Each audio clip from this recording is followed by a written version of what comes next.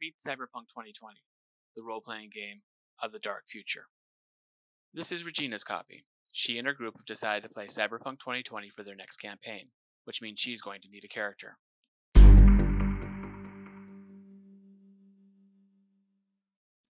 There are five steps to creating a Cyberpunk 2020 character picking a role, generating statistics, generating a life path, buying skills, and buying gear and cyberware. Regina's going to go through them all one by one.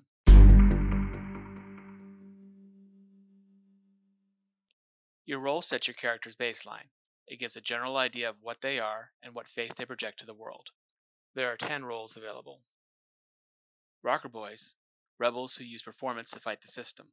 Solos, the mercenaries and warriors of the dark future. Netrunners, hackers who plug their brains directly into the net. Techies, specialists in breaking down and building up machines. Medtechs, who are as much engineer as physician in the cybernetic age. Medias, influencers who either report the truth or bend it. Cops, maybe private security, maybe public, but on the edge and ready for everything. Corporates, working inside the system to make the world a better place, maybe for everyone, maybe just for themselves. Fixers, the deal makers and information brokers who make everything happen. And nomads, wanderers who roam the vast wastelands between the urban sprawls. Regina looks through her choices and decides to make a medtech who goes by the handle Cross. Someone's going to have to heal up the rest of the group when they get shot. It might as well be her.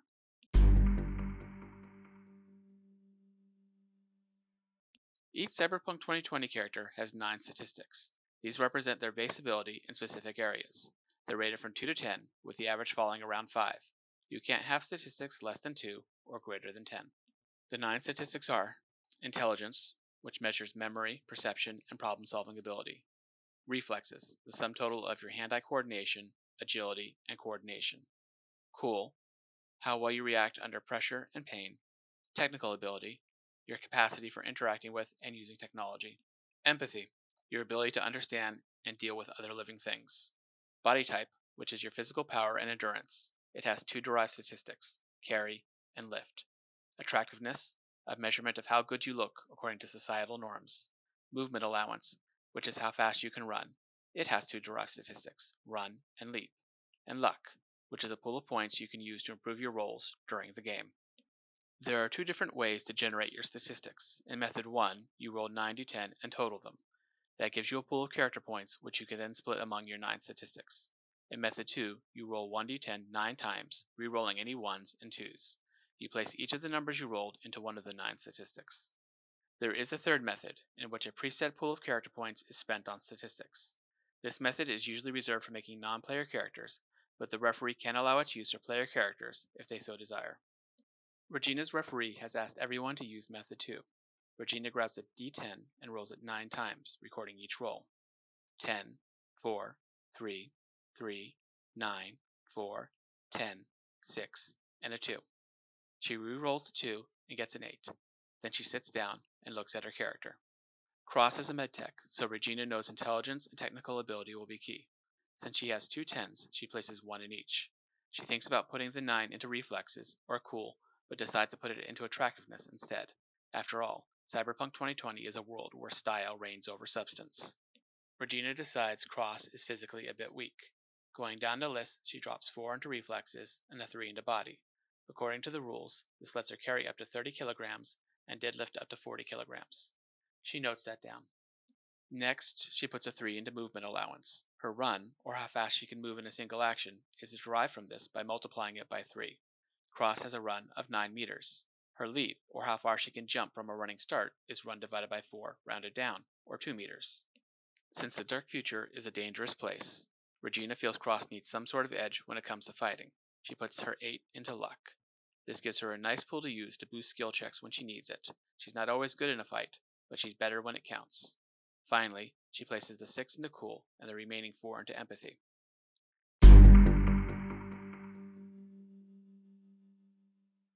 Once you've got a handle on your role and your statistics, it's time for Life Path. A Life Path creates a bullet point history of your character. It doesn't fill in all the blanks, but it gives you a skeleton to hang your more complex background on. Your character's life path can be created via random rolls or by picking the choices which appeal to you. Regina's referee has asked the group to randomly generate their life path, with a promise that if they don't like what they come up with, they can work on changes. Regina starts Cross off with origins and personal style. On the dress and personal style table, she rolls 1d10 three times. 2. Blue jeans for preferred clothing. 3. Short and spiked for hairstyle. And 8. Or spiked heeled boots for affectation. She can work with that. Regina rolls a 10 on ethnic origins, which means her family background is European. Regina speaks some Spanish, so she decides Cross comes from Spain. Next is family background. First up is family ranking. With a 3, it looks like one or both of Cross's parents were corporate technicians. On to parents. A roll of 8 means some trouble. Something has happened to her parents. As instructed, Regina heads for the something happened to your parents table next. This time, she rolls a 2. Cross's parents died in an accident. Next comes family status. This time it's a 1, which means Cross's family status is in danger. She heads to family tragedy. With a 6, it looks like things have changed.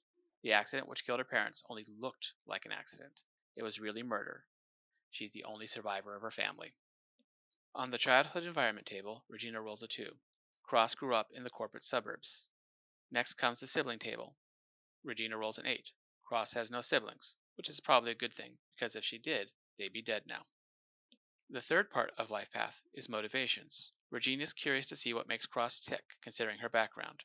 On the personality traits table, Regina rolls 7, silly and fluff-headed. On the person you value most table, she rolls a 5. Right now, she values herself most.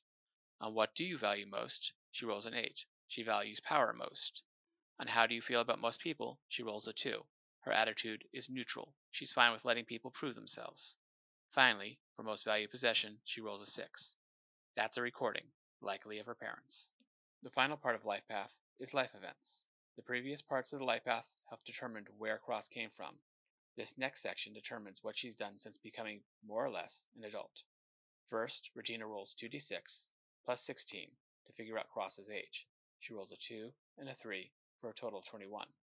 Cross is 21 years old. Now she rolls 1d10 once on the life events table for each year past 16, or 5 times. She rolls 2 big problems and big wins, 7 romantic involvement. 1. Big problems and big wins again. 4. Friends and enemies. And 9. Nothing happened that year. Now that Regina's got the categories, it's time to drill down and see what happened with each event. With the first big problems and big wins, Regina rolls a 4. That's even, which means it's a win and not a loss. She rolls 1d10 on the You Get Lucky table and scores a 1. Cross made a powerful connection. A second one means that the connection is a member of the Night City Police Department. Next is her romantic involvement. Regina rolls a 3. Looks like Cross had a happy love affair. It's back to big problems and big wins. This time, Regina rolls a 9, which is odd, so that's a problem. She rolls 1d10 on the disaster strikes table. With a 2, Cross was imprisoned for 1d10, or 5 months. Regina checks the what are you going to do about it table and rolls a 3. Right now, Cross is just trying to live it down and forget it. Finally comes friends and enemies. She rolls a 3, which means it's a friend, not a foe. With a 5, the friend is a woman, and 7 means the woman is like a foster parent to Cross. Regina could go on and roll more about her friend's styles and motivations, but she decides to ask instead if another PC in the game, the solo Brooks, can fill this role. It gives her a nice hook to be part of the party. There's nothing to roll in the last event, since nothing special happened. Regina pauses and rereads her life path and her statistics. There's a lot of interesting ideas there, and it allows her to sketch out a summary background across as a corporate kid who grew up in the suburbs outside of Barcelona. She was the daughter of two engineers. Regina likes the idea of Cross being on the autism spectrum and decides that manifests as trouble interacting with people, but with strong connections with the machines and with animals. As a result, she seems a bit flighty and silly to some, but the truth is she's smart as a whip. Encouraged by her dads, Cross went to university early to study veterinary medicine. While she was in the middle of completing her studies, her dads both died. Officially, it was an accident, but she discovered the truth. It was really the Corp covering up an illegal project by scrapping everything, including the people working on it. Disgusted because she was going to school on the Corp's credit, Cross dropped out and vanished into the edge by running away to Night City. Things might have gone bad there if she hadn't met a Night City PD detective. The two got involved and are actually still an item to this day, although it hasn't gotten so serious that they moved in together. She's got a job as a tech at a pet shelter and met a solo there named Brooks, who was also volunteering. It's a good thing, too, because it wasn't long after that that a gang kidnapped Cross and held her captive, forcing her to use her medical skills to patch up their members. Brooks and Cross's lover rescued her, and out of gratitude, Cross has been helping Brooks as the team's unofficial medtech ever since. However, the experience has left her shaken, and lately she's been more and more withdrawn, thinking more of herself and how she can get enough power to prevent it from ever happening again. There's still holes to fill in, but that gives Regina enough to continue on with character generation.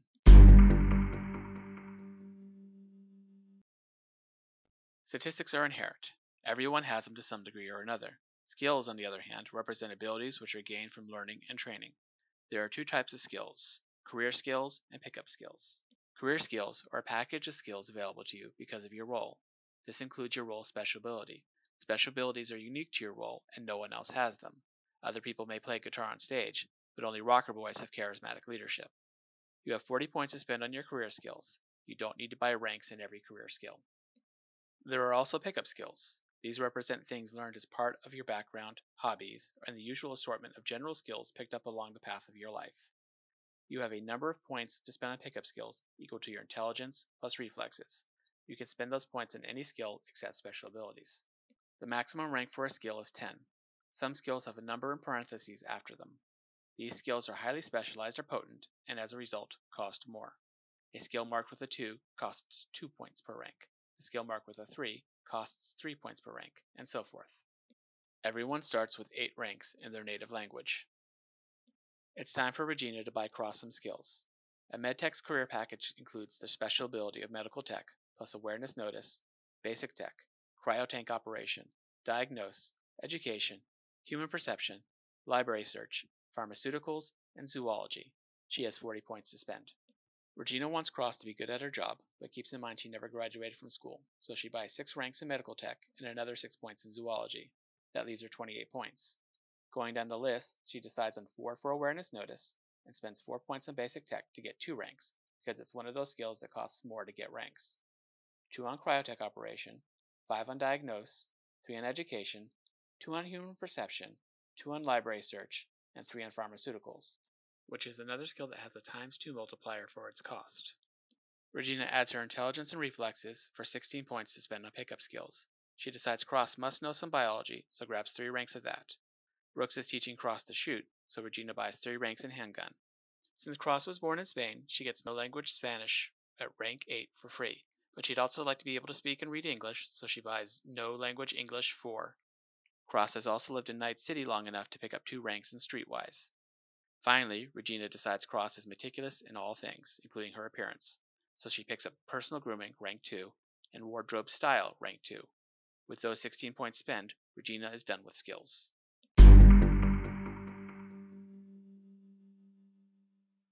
The last step is buying gear and cyberware. To figure out how much you have to spend, roll 1d6 and divide it by 3. Remember to round down. Multiply your result by the appropriate value based on your role and special ability as on the table on page 58. This determines your starting funds in Eurodollars, also known as eddies, the currency of the game. If you feel like you need more money to buy cyberware, tell the referee. Your character can make a deal with a paramilitary group, crime family, or corporation to purchase up to 10,000 more eddies worth of cybernetic implants. The downside to this is you owe your sponsor big time and the referee will make sure they collect. Regina rolls a 6 on her 1d6. Divided by 3, that's 2. Multiply that by the value listed for a med tech with a rank 6 medical tech, 3000, and you've got a total of 6,000 eddies.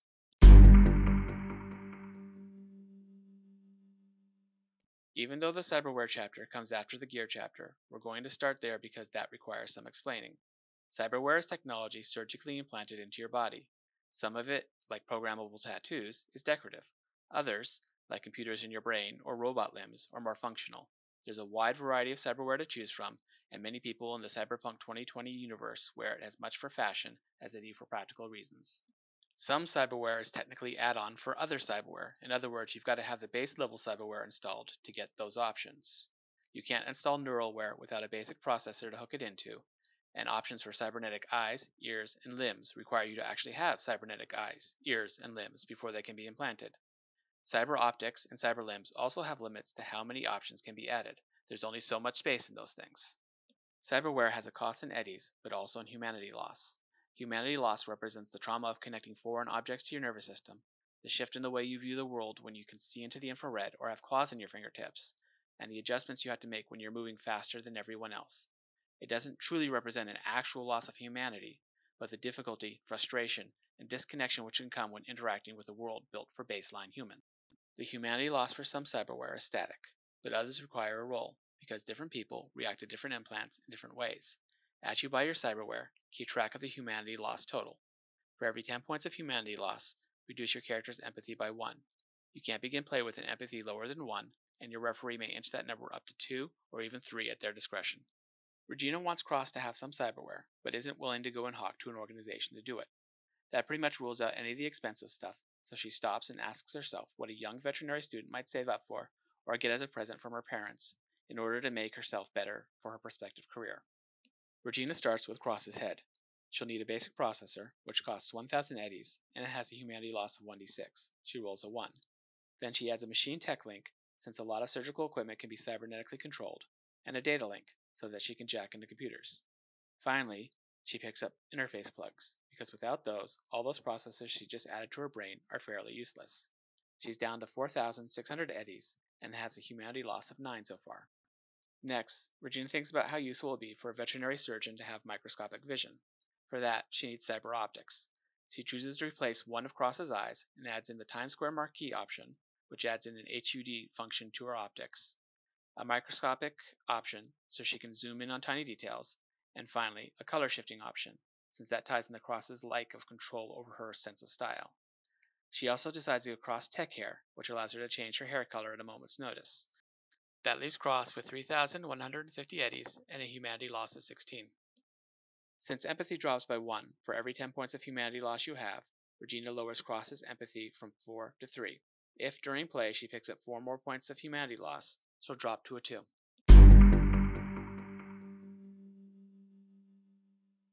With cyberware out of the way, money can be spent on gear. This includes weapons, armor, equipment, lifestyle options, and services. Weapons have an availability rating. Weapons rated E can be bought almost anywhere. Weapons rated C can be bought in specialty stores. Weapons rated P or R are hard to find, and the referee can declare them off limits during character generation. Regina decides to outfit Cross with a Dai Lung Cyber Mag 15, a cheap light pistol. She also picks up a heavy leather jacket for a little protection. It's not great armor, but it's better than nothing. With a weapon and some armor out of the way, and 3,050 eddies left, she looks to gear. Since she's a medtech, Cross can use a surgical kit, which is expensive at 400 eddies, and a med kit for 50 eddies. She's got 2,600 eddies left. Regina wants Cross to have a place to live, so looks at apartments. They're 200 eddies per month base, multiplied by a modifier depending on location.